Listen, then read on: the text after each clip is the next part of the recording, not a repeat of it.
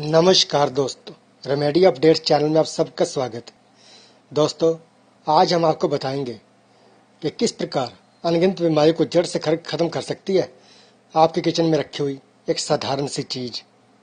दोस्तों, लेकिन उससे पहले अगर अभी तक आपने रेमेडी अपडेट्स चैनल को सब्सक्राइब नहीं किया तो चैनल सब्सक्राइब कर लीजिए, ताकि हमारे आने वाली नई वीडियो सबसे पहले आप तक पहुँच सकें। और साथ में लगे हुए बेल आइकन को दबाना मत भूलना दोस्तों। चलिए दोस्तों, शुरू करते हैं। दोस्तों वो साधारण सी चीज़ है, हींग। हींग तेज गंध वाली, हींग भारतीय व्यंजनों में खुशबू और स्वाद के लिए खास तौर पर इस्तेमाल की जाती है। दाल में तड़का लगाने से लेकर खुश, सब्ज़ी में खुशबू के लिए भी इसका इस्तेमाल किया जाता है। आमतौर पर यह गहरे, लाल या फिर भूरे रंग की होती है। मसाले के तौर पर इस्तेमाल होने वाली हींग के कई और भी फ़ायदे हैं। हींग में एंटी इन्फ्लेमेटरी और एंटीऑक्सीडेंट गुण होते हैं, जो खराब पेट एसिडिटी पेट के कीड़े, अपच पेट के दर्द आदि समस्याओं में राहत पहुंचाते हैं। दोस्तों, इसके और भी बहुत सारे फ़ायदे हैं।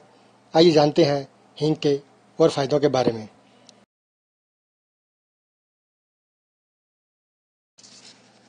दोस्तों, थोड़ी सी हींग पीस कर पानी में घोल लें और शीशे में भर लें।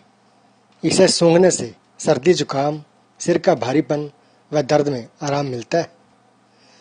दोस्तों, भुनी हींग, काला जीरा, सफ़ेद जीरा, अजवाइन और सेंधा नमक। इन सबको पीस कर चूर्ण बना लें। इसको एक बार में ढाई तीन ग्राम ताजे पानी के साथ लेने से दिल की कमज़ोरी, घबराहट तथा जलन में लाभ होता है। दोस्तों, हींग 120 मिलीग्राम को पीस कर बीज निकाल, निकले मुनक्का में रखकर गोली बनाकर कम गर्म पानी से खा लें। कमज़ोरी दूर होती है। अगर आपके दांतों में दर्द है तो आप इसे नींबू के रस की कुछ बूंदों के साथ मिलाकर प्रभावित दांत पर लगा सकते हैं, इससे दांत का दर्द ठीक हो जाएगा। तो दोस्तों, देखा आपने हींग के फायदों के बारे में, हम बाहर दवाई लेने जाते हैं लेकिन घर की चीज़ों को नज़रअंदाज कर देते हैं जबकि काफ़ी बीमारियों का इलाज हमारे किचन में ही मौजूद है।